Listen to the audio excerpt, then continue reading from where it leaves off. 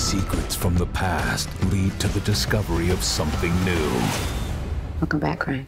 This is not as it seems. One, two, three, they're gonna run back to me. Evil has returned to Sleepy Hollow. The monsters are real. It's our job to stop them. She's my partner in crime. Mm-hmm. Sleepy Hollow. Season premiere this Thursday after Bones at 9, 8 central on Fox.